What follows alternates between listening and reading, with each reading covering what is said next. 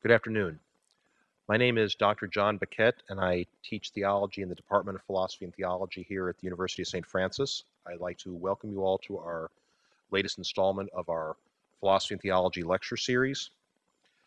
This afternoon's uh, lecture is Sister Felicity Dorsett. Sister Felicity was born in the Midwest, lived or taught in Indiana, Minnesota, Wisconsin, and in Louisiana.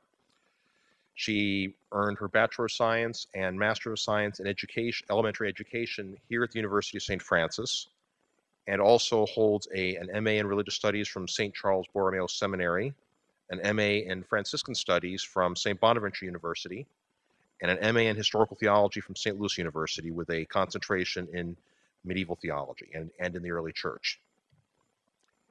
Among her uh, many accomplishments, she has translated poetry, having it published in The Cord, a Franciscan periodical, as well as in the Bible Today and in the AFCU Journal and other periodicals. Sister is a uh, member of the Sisters of St. Francis of Perpetual Adoration, the religious community that sponsors our institution, who, by the way, will be celebrating their 150th anniversary of their founding this year and the founders of their order, I'm happy to announce, in case you do not already know, Mother Theresia Bonzel is to be beatified in Olpe, Germany on November 10th of this year. Sister Felicity's talk is, as you can see from the overhead, Christ, Creation, Cosmology, and Viriditas in Hildegard of Bingen. Please welcome warmly Sister Felicity Dorsett.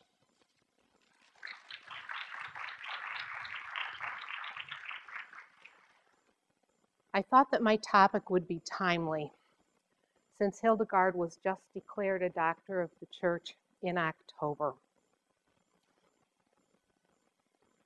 She is a fascinating person. Hildegard was born in 1098 at the end of the 11th century and lived into a good length of the 12th century, dying in 1179. Renata Craine, who has studied her theology, says Over the years, Hildegard's words, images, music, and life have become a source of delight, ambiguity, hope, and challenge. Who is Hildegard? What can we learn from her today? And to whet your appetite a little, we have a short video clip from um, a German movie that came out in 2009 called Vision about the life of Hildegard. Tut Buße! Werft euch nieder und erwartet in Stille den Herrn. Es ist unser göttliches Recht, dass wir über uns selbst bestimmen. Zügle deine Zunge, Hildegard. Meine Tochter hat von deinem Ruf gehört. Sie möchte in deine Klause eintreten und von dir unterwiesen werden.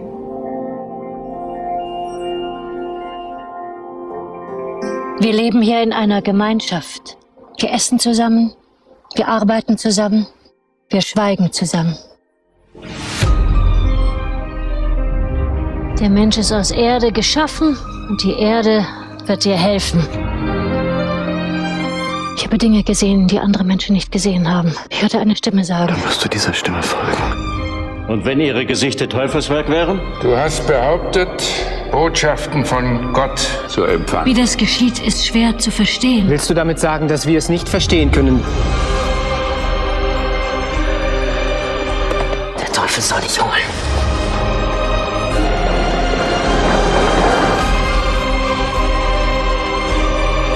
Ich werde mich dafür einsetzen, dass du exkommuniziert wirst. Ich kann dich zerstören. Ich muss es wagen. Ich würde seinem Befehl nicht folgen.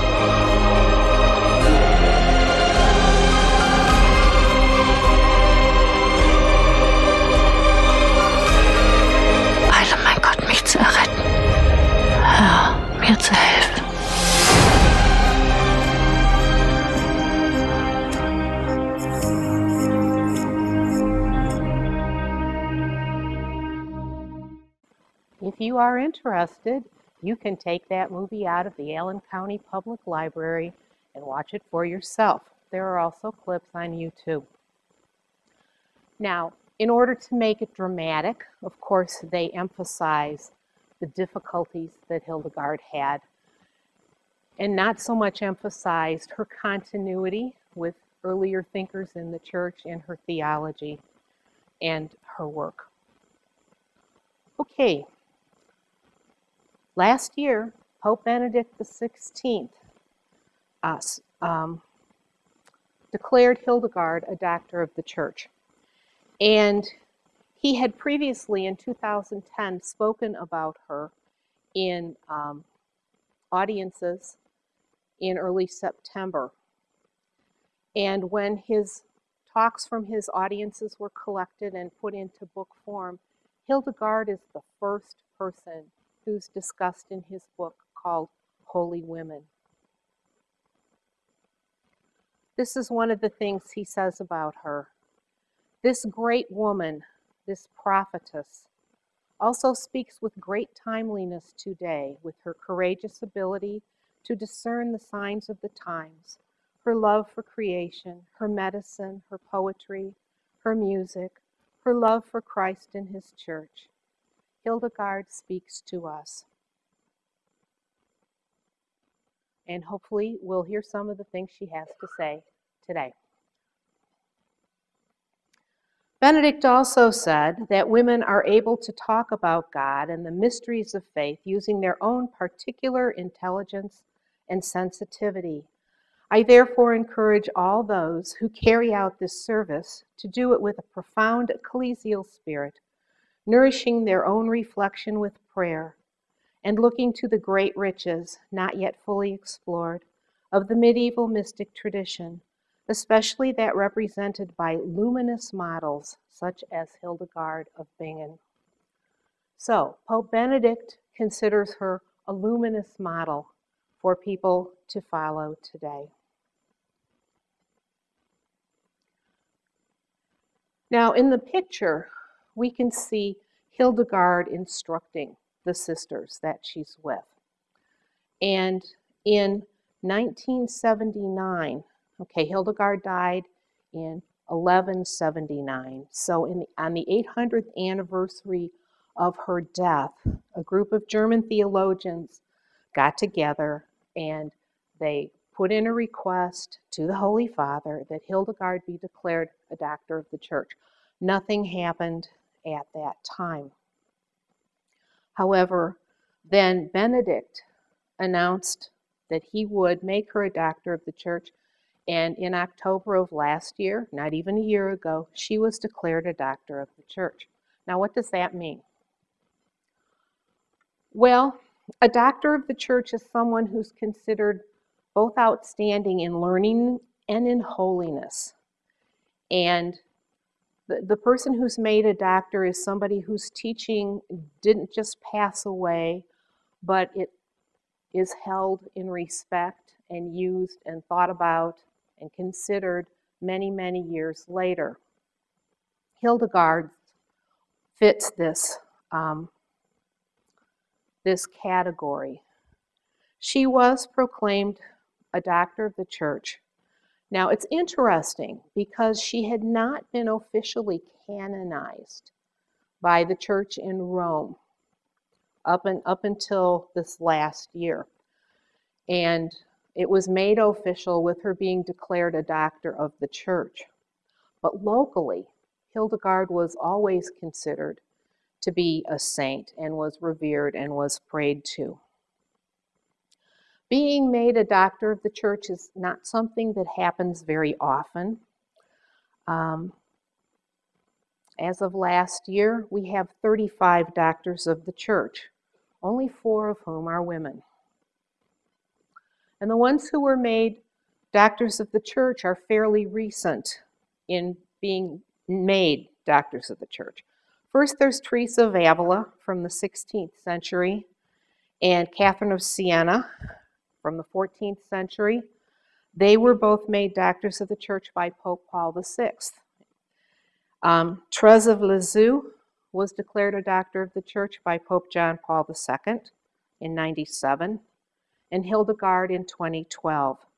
So we have four women out of a total of 36, roughly one ninth of the doctors of the church are women.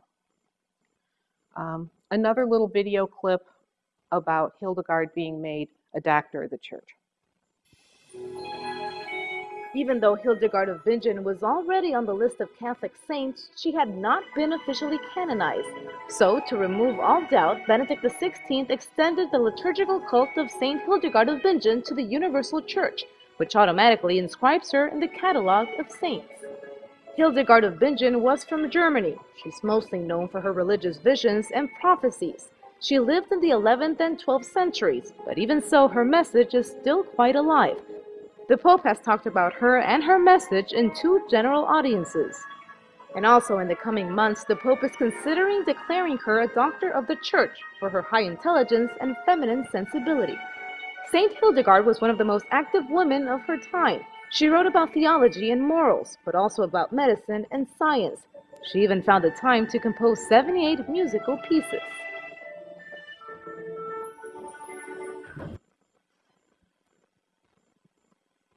Now, Hildegard came from the very green region of the Rhineland that's near to Trier and Mainz. She was the 10th child of a noble family. And when she was eight years old, she was given to the church, um, presumably as a tithe, because she was the 10th child. However, some scholars have suggested that because Hildegard had visions from a very early age, uh, perhaps as young as three years old, that her parents also thought that she would be safer in a monastery. Um, and so that might be another reason why they um, gave her to the church. Uh, the next few slides will be a little outline of some of the, the important events in her life. She was born in 1098, and um, her family name was Burggraf von Bermersheim. And Burggraf roughly translates to Earl of the Castle or Earl of the Fortified Place. Um, Bermersheim is a place name. That was where her family was from. When she was eight, she went to Disibodenberg, Disibodenberg was a historical monastery that had been founded by Saint Disibode. He's not one of the saints we hear a lot about in the United States. Okay, he was an Irish missionary in the seventh century, and, and he came into the areas of Germany and France preaching Christianity. And Hildegard wrote a life of Saint Disibode. I'm not going to talk about it, but that's one of the things that she wrote. She left many writings. Um, in 1106, she, she goes to Disibodenberg and she's entrusted to Sister Jutta von Spanheim. Jutta is not that much older. She's only like six to eight years older than Hildegard, but she forms Hildegard in the monastic life. She educates her uh, teaches her to read, or at least improves her reading, exposes her to monastic texts, and so on. And seven years later, Hildegard becomes a Benedictine nun. Now, it may be that later on, when she moves to a different monastery, that she is actually becoming a Cistercian nun as part of the Cistercian reform of the Benedictine order. Scholars argue about this. When Jutta dies, a good bit later, Hildegard's elected abbess, and she takes charge of the community.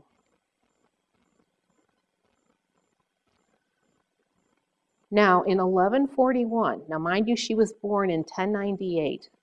She's 43 years old. She receives a call from God that she is supposed to write down to communicate the visions that she has been having. And she starts to write, and she is helped by Brother Volmar and by Sister Richardis von Stade. And in the picture, You can see that Brother Volmar is writing and Richardis is off to the side. I guess she's listening or running errands or something. But there she is. Uh, she was good friends with Hildegard. And Hildegard, you'll notice,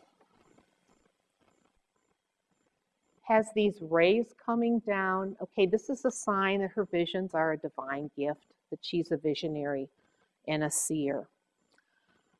It's thought that Hildegard, even though she could read and read well, really was not much of a scribe. So Brother Volmar evidently wrote much more fluently than she and took down dictation from what she said. In 1148, Pope Eugene III hears about Hildegard and he sets up a commission. He wants to investigate whether or not she really is truly inspired by God. Um, they render, the commission renders a positive judgment, and she is approved. Now, once Hildegard starts communicating her writing, uh, she becomes very active. She writes letters to Emperor Frederick Barbarossa. She writes letters to the Pope. She writes letters to archbishops. Um, there are four volumes of her letters if you want to read them. Um, she's, she's very active in her ministry. In 1150, she founds a convent for women near Rupertsberg, which is near Bingen, and that's why she's Hildegard of Bingen. Then she starts doing missionary tour, tours. She goes out preaching, and later I'll show you a map of where she goes.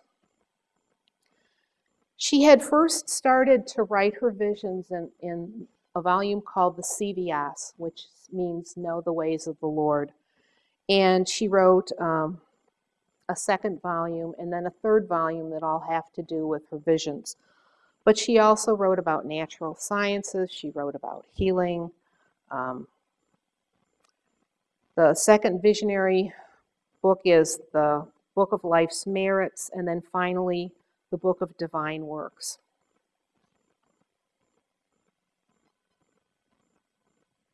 She founds the convent at Eibingen near Rudesheim, and she makes more missionary tours. Now, the trouble that she gets into with the church is because she decided to give uh, a man who was excommunicated Christian burial. And so they did that. Because he was excommunicated by church law, he should not have been buried in sanctified ground. And Hildegard said she knew that it was okay to bury him, that he was forgiven. And there was a grand fuss about this. Um, and the church denies her the sacraments. Um, but then in 1179, before she dies, she is um, accepted again into the church. She dies at 81. Long life, especially when you consider how sickly she was as a child. Now, here you can see on the map, probably not really well, um, but the places where Hildegard went. Her first tour went east to Bamberg.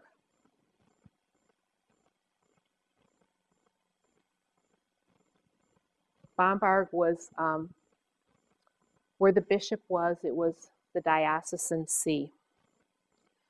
Her second trip, she went west to Metz and Trier.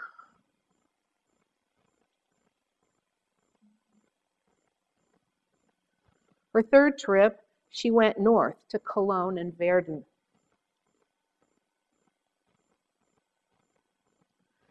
And her fourth trip, she went south kind of like St. Paul's missionary journeys.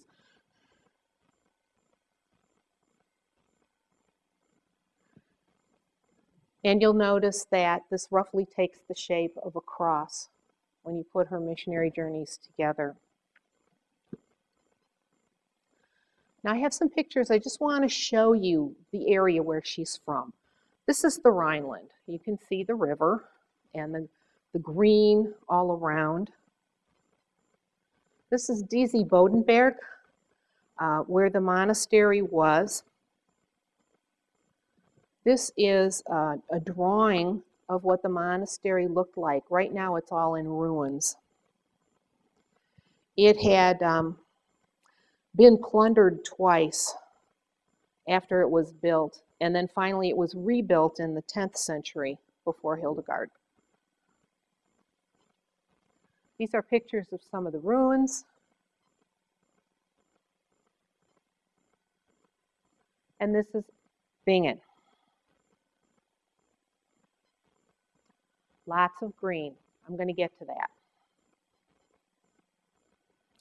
First, I want to talk a little bit about Hildegard as a musician. Um, her theology is visible in the texts that she wrote of her songs.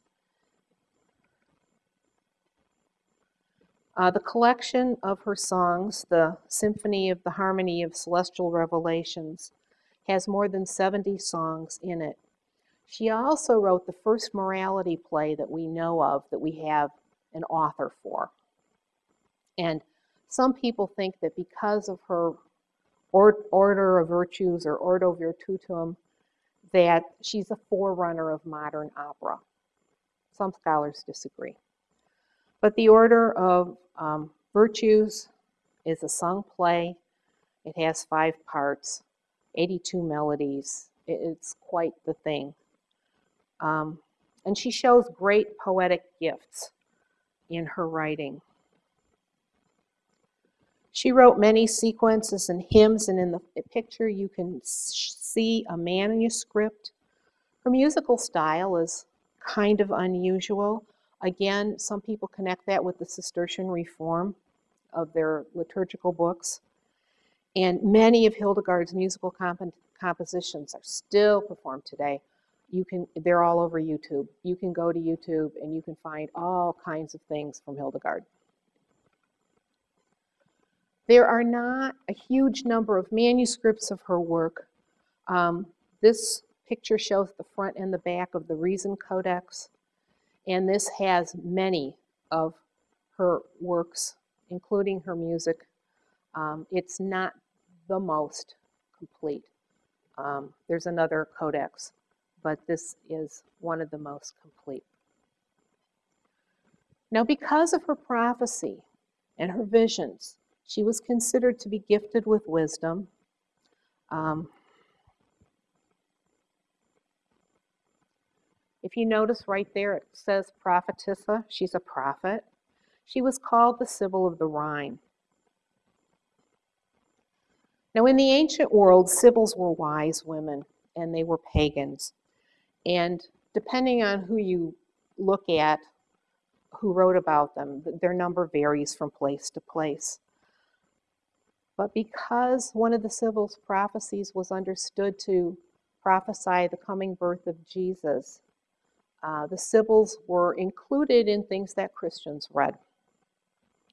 So if you're old enough to remember the old Latin liturgy, when we had funerals, we sang a sequence by Jacopone da Todi that started Dies irae, Dies illa. Okay? And the last line says, Teste David cum Sibylla, okay, by the witness of David and the Sibyl.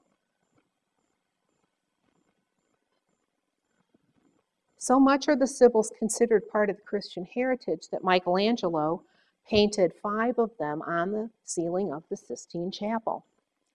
And um, he painted the Persian, the Erythraean, the Cumaean, the Delphic, and the Libyan Sibyls among other people who foretold the coming of Christ.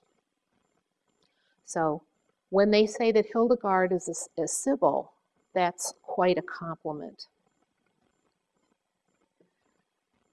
Here at the monastery church in Eibingen, you can read below her again Saint, Saint Hildegard, prophet. And in many ways, she's like an Old Testament prophet because she doesn't hesitate to talk to kings. and to rulers about what she thinks is right and what ought to be done. Um, and she makes her views known.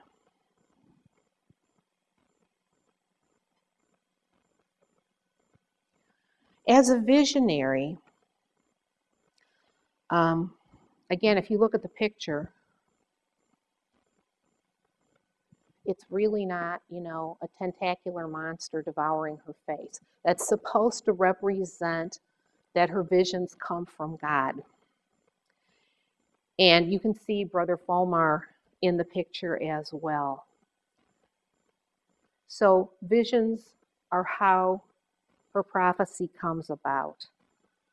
And again, she wrote these three books about her visions Scivias and um, the Liber Vitae Meritorum and the Liber Divinae Operum, or it's sometimes called De Operatione Dei. Um, the manuscripts differ in the titles just to make research challenging. Okay, as a writer, Hildegard seems mostly have to have dictated. But at least in the early manuscripts, or the at least one for sure, she supervised the drawings of the pictures that represented her visions. I'm going to um, show you illustrations from and talk a little bit about the first book of her visions, Scivias. And um, C, the SCI, is a shortened form of the verb that means to know. Vias is Latin for ways, and the next word is domini, of the Lord. This is arranged in three main parts.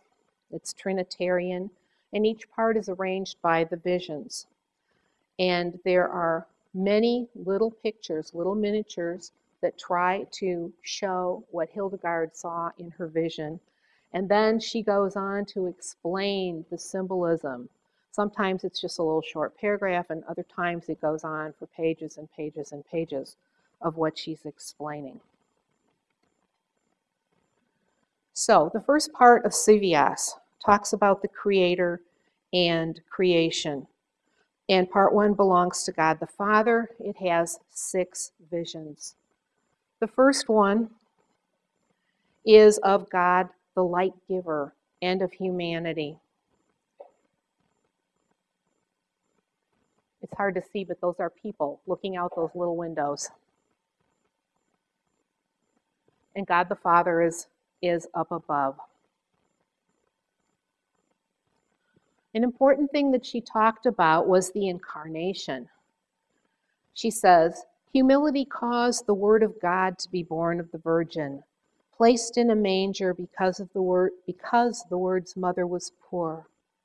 Humility always sighs and destroys all crimes because that is its work.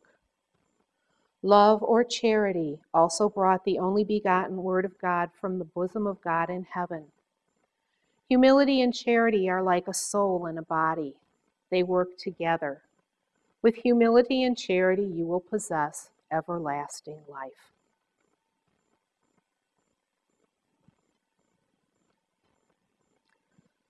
So, before John Duns Scotus, we have Hildegard saying that the words becoming flesh is not dependent on human sin.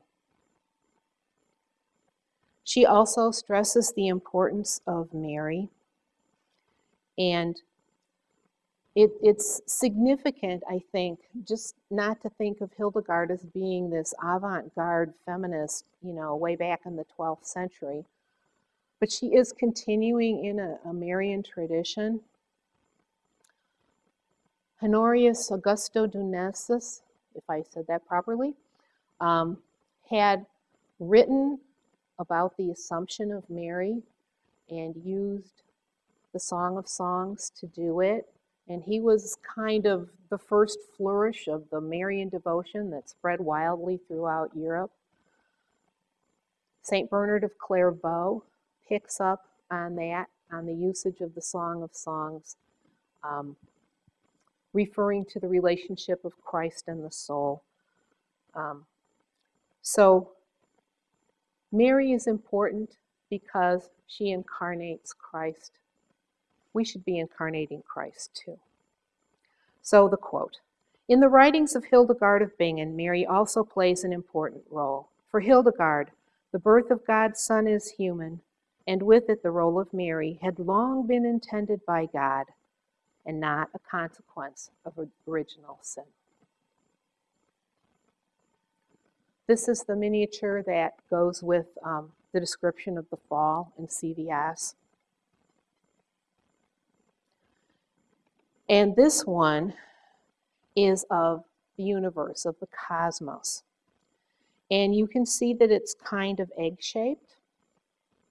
And around it is the fire of God. And it holds all things together.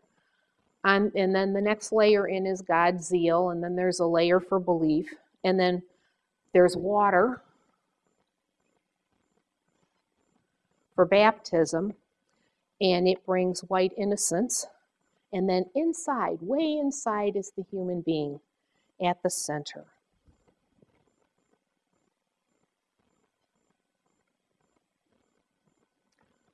The fourth vision talks about humanity and life on the different stages that it goes through. And this vision, I like this picture. This is one of my favorites. This is the choirs of angels. And Hildegard says they're arranged in a circle as if they were a crown.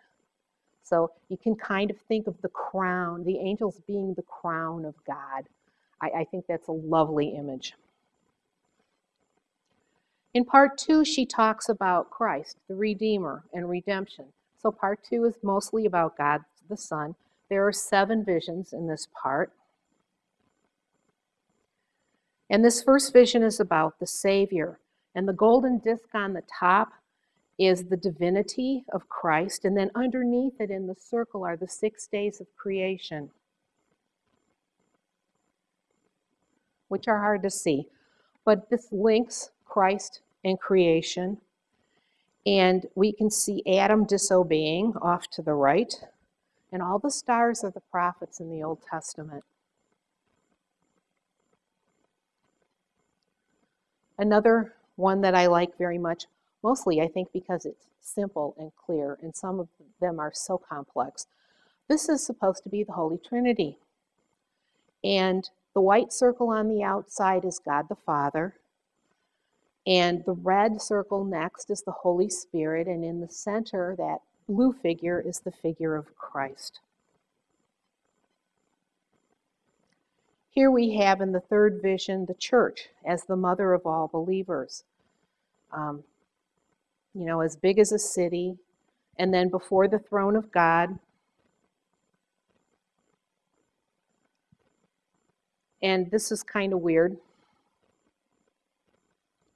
Those are all little black babies, and they're going to turn white when they're baptized.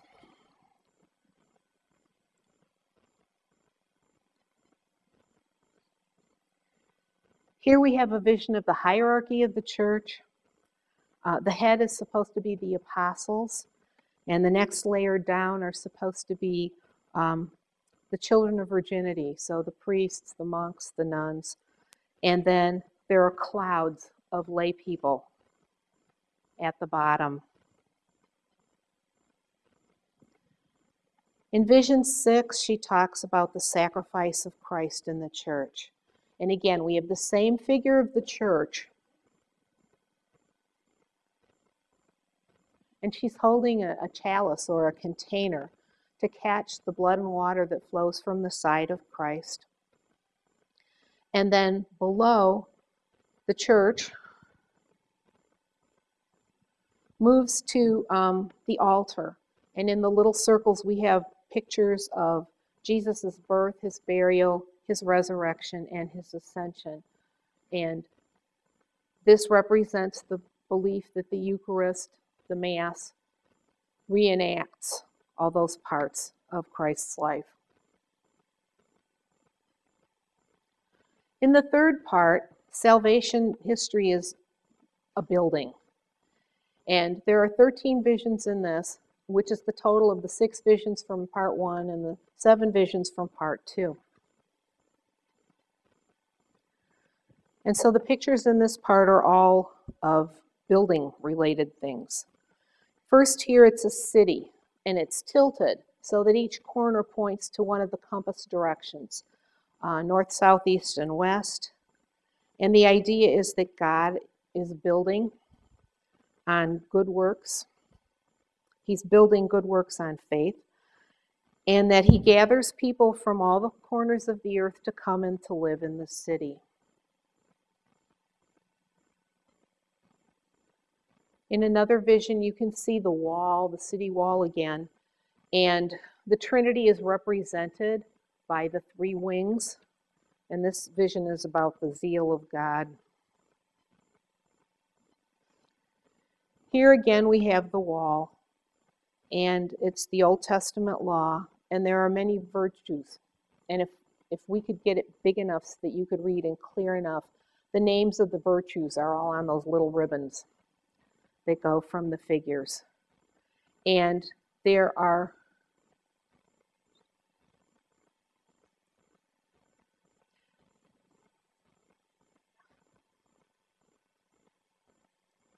Okay, there's the cross. And two of the virtues that lead to uh, the New Testament are discretion, discretion and salvation. Vision 8 is related, I think, to the idea of um, the ladder of Jacob in Genesis 28 and in John's Gospel, where Jesus says to Nathanael, You know, you will see uh, the sons of God ascending and descending on the Son of Man. Only here Christ is represented as a pillar, and there are virtues that go up the column. And when you get up to the top, it's the grace of God. The second visionary book um, is a moral treatise, and that's all I'm going to say about it. A few things about the Book of Divine Works the page um, from the Riesen codex um, shows what the writing looks like. In this book, she considers all parts of the cosmos, all kinds of creation, animals, people, plants, and everything comes forth from God and everything goes back to God. Only a couple of images here. The Spirit of God is a life that bestows life, the root of the world tree and wind in its boughs. She is glistening life. Now that's from one of her songs, but it goes very well with the picture. You can see um, the tree, the tree, tree of life growing out from, from the world. And this picture shows the universe in the womb of God. So we have Christ, the cosmic Christ, in the center.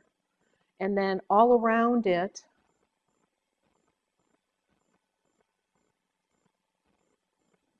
we have that red part that's um, cosmic Christ, and it's inside the body of God. So you can see that there are two heads. This is somewhat strange, but that's what she's trying to talk about. Now, there are other writings that Hildegard made, and we are going to hop right over those. And I want to talk about Viriditas. Uh, viriditas means greenness. Greenness is uh, a term that was first used by Gregory the Great in his Moralia on Job, section 29.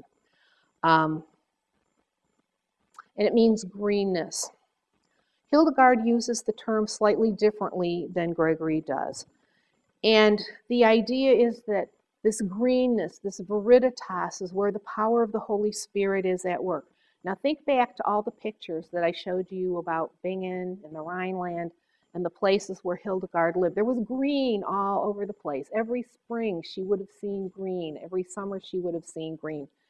With, with evergreens, there would have been green in the winter. She saw green all over the place. And so the greenness is not just the life that gives life to plants, but it's the power of the Holy Spirit at work in the world. And the opposite of this greenness is ariditas or dryness, a spiritual dryness.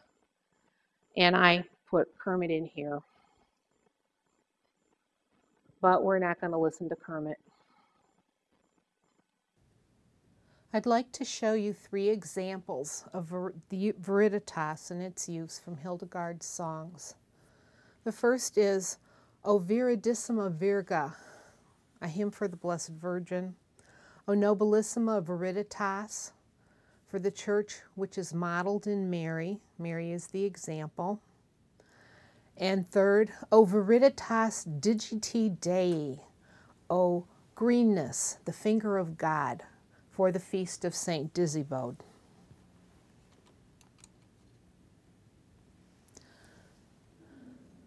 O Viridissima Virga, says that Mary, the Virgin Mother, is the greenest branch from which Christ blossoms. And the whole earth was made glad, because her womb brought forth fruit. And therefore, O mild Virgin, no joy is missing in you.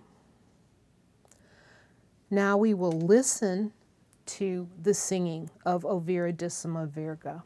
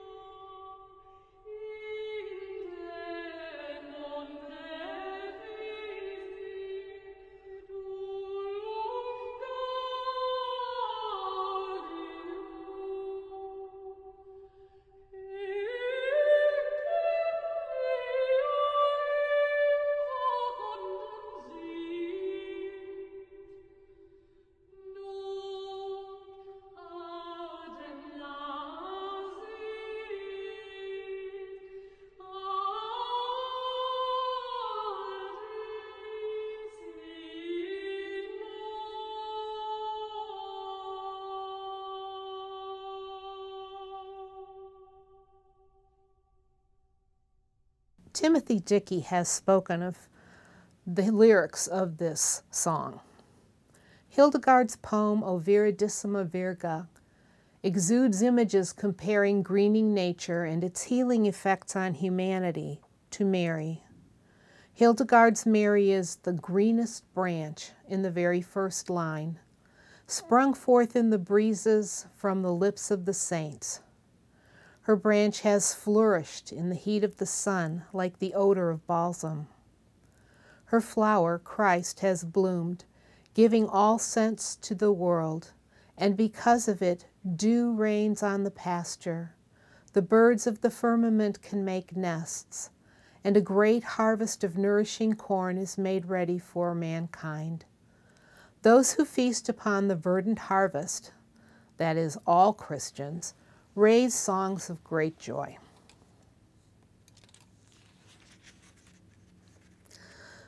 The next is the responsory O Nobilissima Viriditas.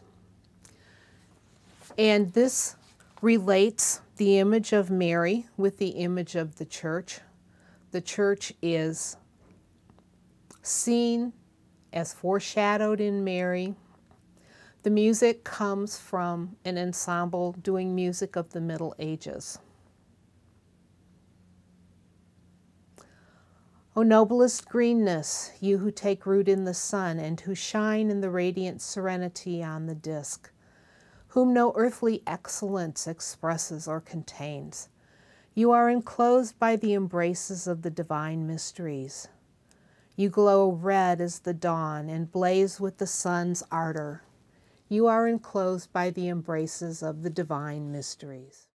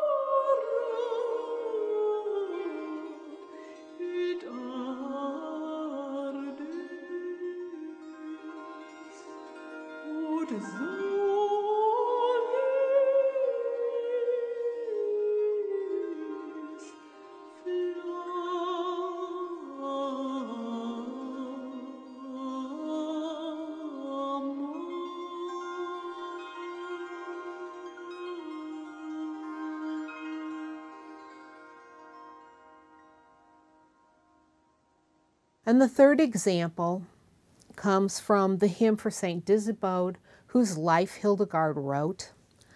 She evidently had a great deal of devotion to him. She speaks of the life giving greenness of God's hand. Through you, God has planted an orchard. You rise resplendent into the highest heavens like a towering pillar. You are glorious in God's work. And you, O mountain heights, will never waver when God tests you. Although you stand far off in exile, still no armed power is strong enough to attack you. You are glorious in God's work.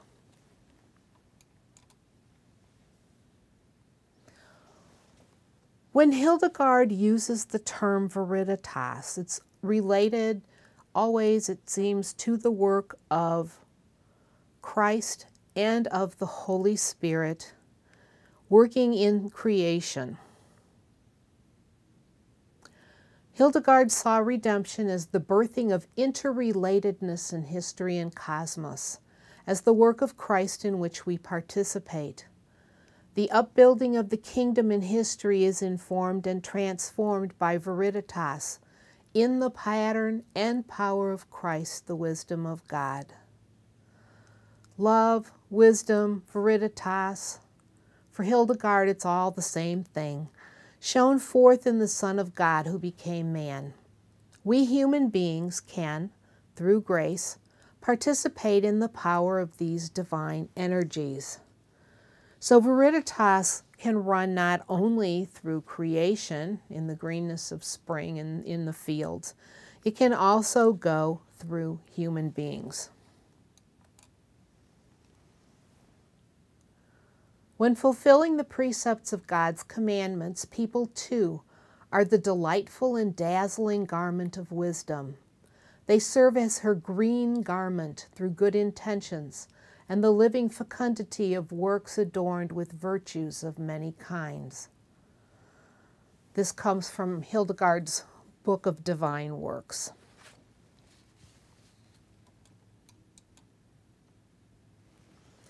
So, when we consider, from Hildegard's point of view, the ideas of Christ, creation, cosmology, and this idea of viriditas, of greenness, it's all connected. The universe at large is the macrocosm. We human beings are the microcosm. And our individual human choices can bring more viriditas, more love, more wisdom into the world around us. And in so doing, we share the work of Christ in the cosmos and in the creation and the power of God. So, to apply this notion to our daily lives, every time we make a decision, we tend either towards viriditas or ariditas, towards greenness of life or the dryness of death, where nothing flourishes.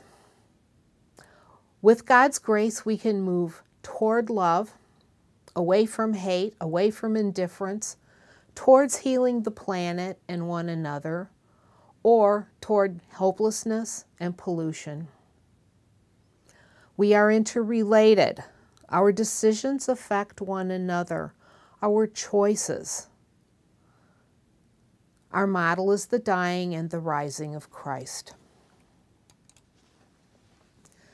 In conclusion, for Franciscans who look at Hildegard and her works, in several ways, Hildegard foreshadows later Franciscan thought.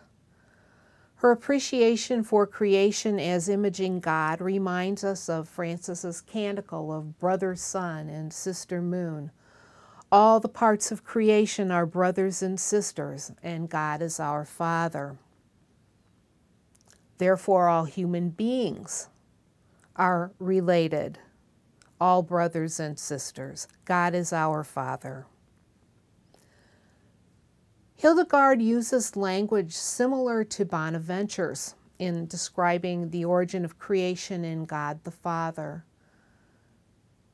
She speaks of how creation flows forth from God in, in ways that sound very much like Bonaventure will sound centuries later.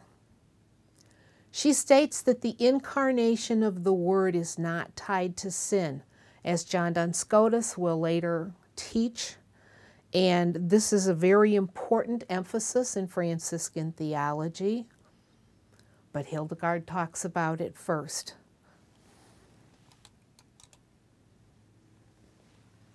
This reliquary in the Eibingen Church is where Hildegard's remains lie.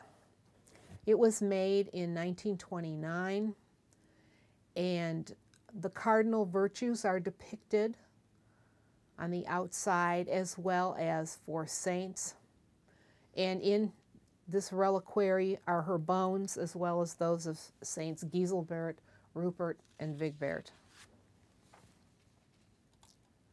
So as we think about Hildegard, our latest woman doctor of the church, we can look at her example and we can ask her to pray for us as well. Saint Hildegard, pray for us. And here is some of the bibliographical references that I used in preparing this talk.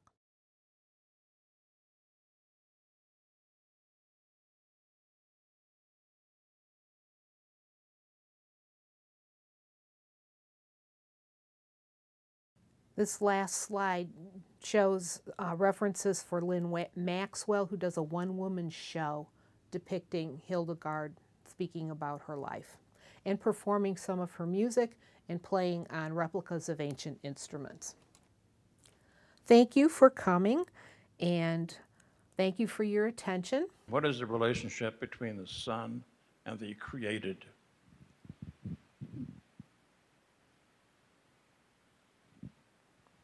Well, as it says in the New Testament, he is the firstborn of all creation. Um, you know, Hildegard did know the scriptures. Once in a while, from what I've read, you know, she will quote a passage word for word, but very often what she does is she alludes to them and she weaves things together. Um, I did not come across anything that would not agree with church teaching on the relationship with Christ and creation. You know, he's the Alpha and the Omega, the beginning and the end. Um, he holds all things together in himself.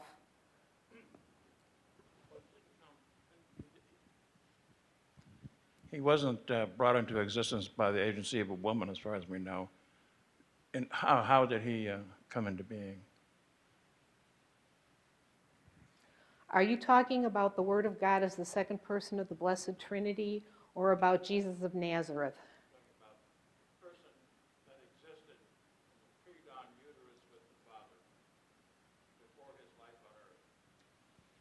Okay, that's the word, that's the second person of the Blessed Trinity, the Word of God. He was with God in the beginning. All things were made through him. Without him was made nothing that has been made, as it is in the prologue to John's Gospel. How did he come into being? He always existed with God the Father and God the Holy Spirit.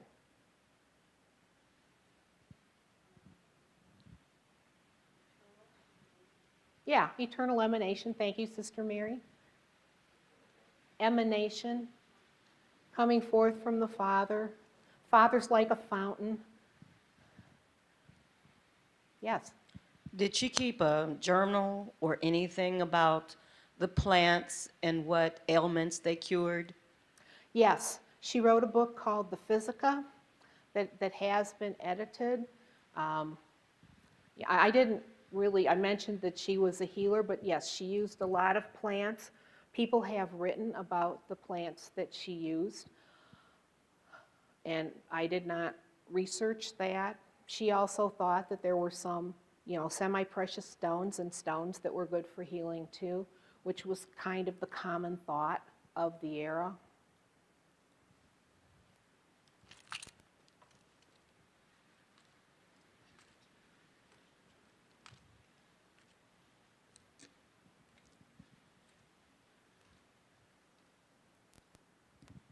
In relation to that last question about healing, um, would, would she not have, you know, as a, uh, an abbess, uh, been expected to know healing techniques?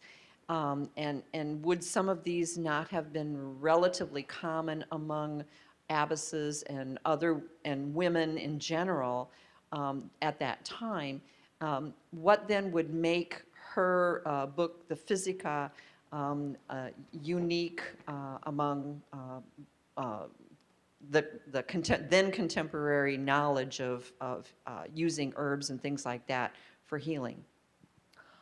The short answer is I don't know, but I agree with you that that women in general, and especially noble women, and she was very definitely a noble woman, would have been expected to know some of that. That having been said, though, she left home when she was eight. And she was under the tutelage of Jutta von, von Spanheim. And, you know, she may have learned some of what she knew from Jutta. Um, yeah, but I didn't go into any of that. Sorry. Well, I was interested in her being given to the monastery at the age of eight. So I just wanted to know if you know, was that a common practice? And also, did she have a good relationship with Jutta? Was that kind of, was she a mother to her? Do, do you know about that? Or is there any record of that? From what I've heard and what I've read, um, they were close. I mean, they were, and she was kind of, I guess, in, you know, in loco parentis for Hildegard. Um, but I don't really know a great deal. Sorry. There's a whole lot I don't know. This is perfectly obvious. Oh, and you asked if this was a common practice. Um, I don't know how common it was, but it did happen. It did happen that people gave children to the church. And I mean, even if you think in the Old Testament, we have the example of Samuel, whose parents took him to the temple and gave him to God. Um, so it's in Scripture, but there are other recorded incidents of it in other monasteries. Do you know in her visions, were they just things that she observed or were they interactive? Was she interactive with, with the visions and what was going on in the visions? Okay, now there are some people, medical folks, who, who suspect that what Hildegard had as a medical condition was something they called scintillating scotoma, which is um, an aura that precedes a migraine, but not necessarily a migraine that actually happens as a headache. Um, and she had had these experiences since she was very young. Um, I don't recall like her talking back and forth. But I don't know everything, so you know that's that's possible. Um, certainly, the extensive commentary that she writes about many of the visions. I mean, she's highly allegorical, and you know this little detail in the picture means this, and you know, and then in the next paragraph she will go on and she will talk about the same things from a different perspective. Um, in what I've read, she does not seem to be like talking back and forth. Although certainly when she when she was 43 and she had that experience, you know, when she was told to communicate her visions, something was communicated to her. And I guess we could say her writing is, is the proof that she listened. Does she uh, differentiate between trances and visions? She makes it very clear that she is wide awake when these happen. Um, and that it's not a dream. You know, she, when the Papal Commission comes to investigate her, they ask her questions about this, and she insists over and over again, you know, that she is wide awake, she is not dreaming, um, she's not in a trance.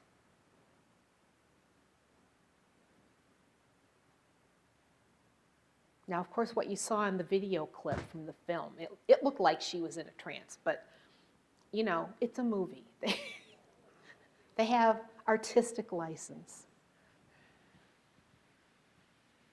These drawings that she did, are they to be expected, that is what she saw, or an interpretation of what she saw?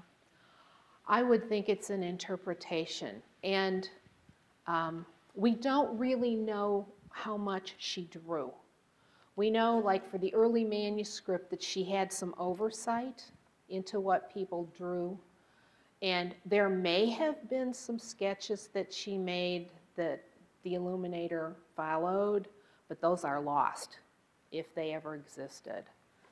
So um, for the later copies of the manuscript, we manuscripts plural, we don't know how much they were like the original manuscripts either.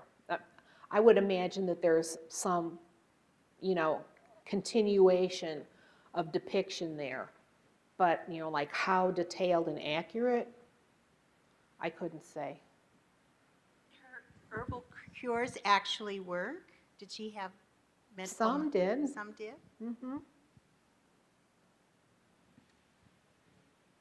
I mean, I would suppose. I mean, she had the reputation as a healer. I wasn't there, you know, taking pictures. But yes.